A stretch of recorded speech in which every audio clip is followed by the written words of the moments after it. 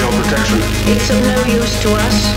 Of no use to you, is it? And if you think you're going to be allowed to live by your own laws, laws we don't subscribe to, You're thinking of what happened to the others in another country. yes, if you know about that, you should know what to expect. It'll not happen to us. Usual. It'll not happen to us because we have to survive.